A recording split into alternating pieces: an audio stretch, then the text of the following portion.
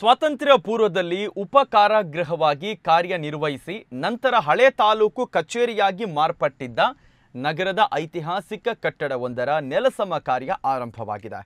ಬ್ರಿಟಿಷರು ಸಾವಿರದ ಒಂಬೈನೂರ ಆರರಲ್ಲಿ ನಿರ್ಮಿಸಿದ ಕಟ್ಟಡವು ಹಲವಾರು ಪ್ರಯತ್ನಗಳ ಹೊರತಾಗಿಯೂ ಪಾರಂಪರಿಕ ಮಾನ್ಯತೆಯನ್ನು ಪಡೆಯುವುದಕ್ಕೆ ವಿಫಲವಾಗಿದೆ. ಕಟ್ಟಡವನ್ನು ಕೆಡವಲು ಸಿದ್ಧತೆಗಳು ನಡೀತಾಗಿದೆ. ಹೊಸನಗರ ಪಾಲಿಕೆಯ ಕಚೇರಿ ಕಟ್ಟಡದ ರಸ್ತೆಯನ್ನು ತೆರವುಗೊಳಿಸಲು ಪ್ರಸ್ತುತ ಹೆಂಚುಗಳನ್ನು ತೆಗೆಯಲಾಗಿದೆ. ಈ ಕಟ್ಟಡ ಸ್ವಾತಂತ್ರ್ಯ ಹೋರಾಟದ ಜೊತೆಗಿನ ಸಂಬಂಧದಿಂದಾಗಿ ಐತಿಹಾಸಿಕ ಮಹತ್ವವನ್ನು ಹೊಂದಿದೆ.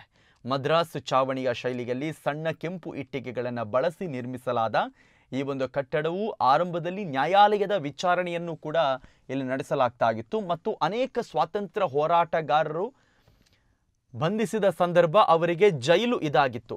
ಹಿರಿಯಡ್ಕದಲ್ಲಿ ಹೊಸ ಉಪ ಜೈಲು ನಿರ್ಮಾಣ ಆಗುವ ತನಕ ಕೂಡ ಕೈದಿಗಳನ್ನು ಬಂಧಿಸೋದಕ್ಕೆ ಇದನ್ನು ಬಳಸಲಾಗ್ತಾ ಇತ್ತು ಕಳೆದ ಹತ್ತು ವರ್ಷಗಳಿಂದ ಕಟ್ಟಡ ಬಳಕೆ ಆಗ್ತಾ ಇಲ್ಲ. ಹಾಗಾಗಿ ಒಂದು ಕಟ್ಟಡವನ್ನು ಸಂರಕ್ಷಿಸಲು ವಾಸ್ತುಶಿಲ್ಪಗಳು ಮತ್ತು ಕಲಾವಿದರಿಂದ ಒಂದು ದೊಡ್ಡ ರೀತಿಯ ಆಂದೋಲನ ಕೂಡ ನಡೆಯಿತು.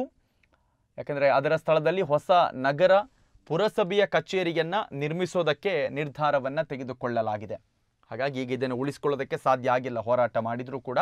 ಹೀಗಾಗಿ ಹತ್ತು ಸಾವಿರ ಚದರ ಅಡಿ ಕಟ್ಟಡವನ್ನು ಕೆಡವಲು ಹನ್ನೆರಡು ಲಕ್ಷ ರೂಪಾಯಿ ಮೌಲ್ಯದ ಟೆಂಡರನ್ನು ನೀಡಲಾಗಿದೆ. ಹೆಂಚು ತೆಗೆಯುವ ಕಾರ್ಯ ಆರಂಭವಾಗಿದೆ.